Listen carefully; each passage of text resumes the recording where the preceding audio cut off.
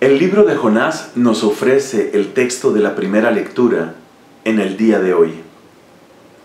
Encontramos a un profeta que no quería ser profeta, llamado así Jonás, enviado a una ciudad que no sabía de Dios, una ciudad a la que no le importaba Dios, una ciudad colmada de paganismo, colmada de idolatría, verdadera señal de la enemistad con Dios.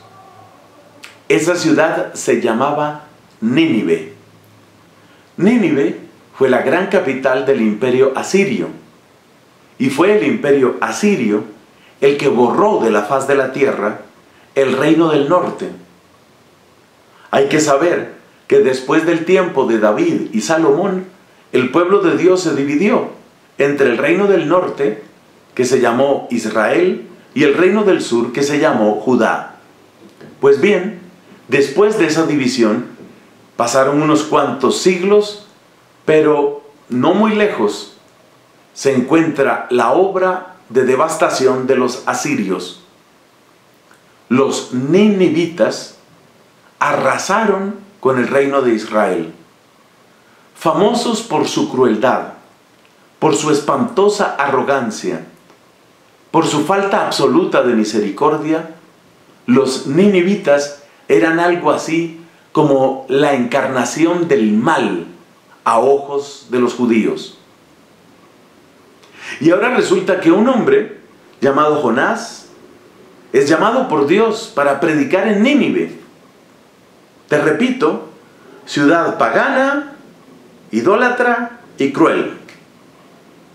Pero para sorpresa de todos, los que nos acercamos al libro de Jonás, los ninivitas escucharon la voz del profeta, se arrepintieron de sus pecados, hicieron penitencia, pusieron su confianza en Dios.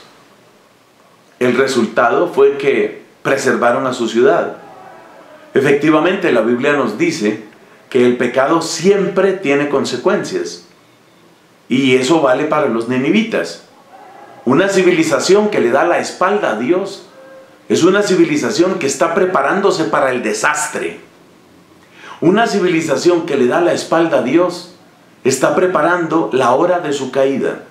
Esto ha sucedido una y otra y otra vez en la historia.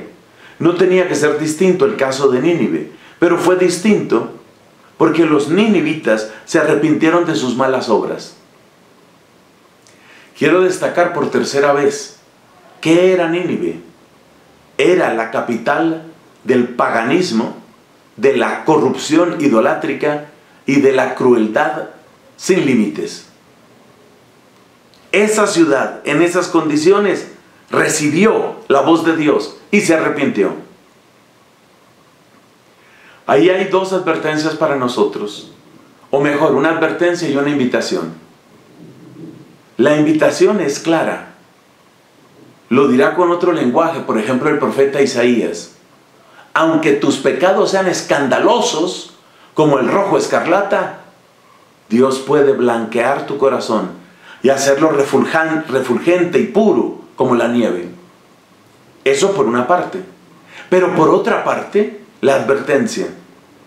Cuidado, cuidado con despreciar al que creemos que está alejadísimo de Dios. Porque aún estos paganos, idólatras y crueles, parece que respondieron mejor de lo que muchas veces respondió el pueblo de Judá.